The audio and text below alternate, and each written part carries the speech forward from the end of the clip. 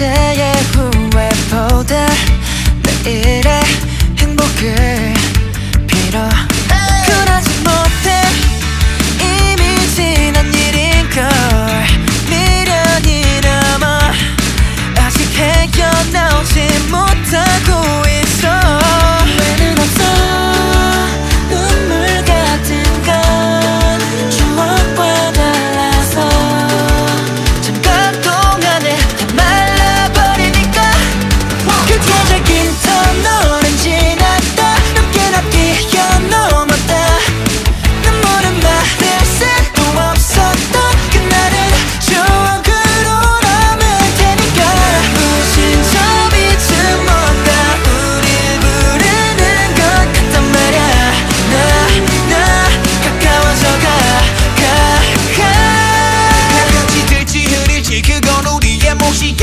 생각보다는 쉽지 않은 길.